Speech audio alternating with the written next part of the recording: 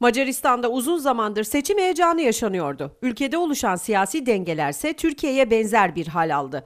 Başbakan Viktor Orban'ın iktidarına son vermek isteyen altı muhalefet lideri bir araya gelerek koalisyon oluşturdu. Avrupa medyası muhalefetin seçimleri kazanacağı yönünde haberler servis etti. Ancak sonuçlar öyle olmadı. Yapılan genel seçimi hali hazırda hükümette yer alan Macar Yurttaş Birliği ve Hristiyan Demokratik Halk Partisi koalisyonu kazandı.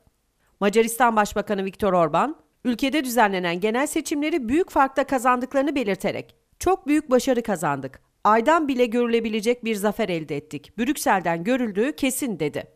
Muhalefetin ittifak yapmasına rağmen seçimi kazandıklarını dile getiren Orban, bazı uluslararası güçler ve kurumların desteğine rağmen muhalefetin başarısız olduğunu belirtti.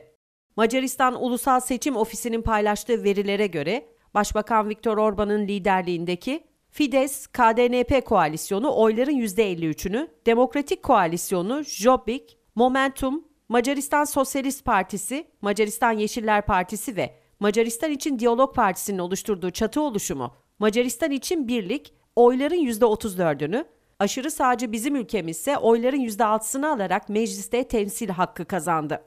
Bu sonuçla 199 sandalyeli mecliste Fides-KDNP koalisyonu 135, Macaristan için Birlik 56 ve aşırı sağcı Mihazang ise 7 milletvekiliyle temsil hakkı kazandı. Sonuçlara göre 135 milletvekili çıkarmayı başaran Fides, 3'te 2'lik çoğunluğu da elde etti.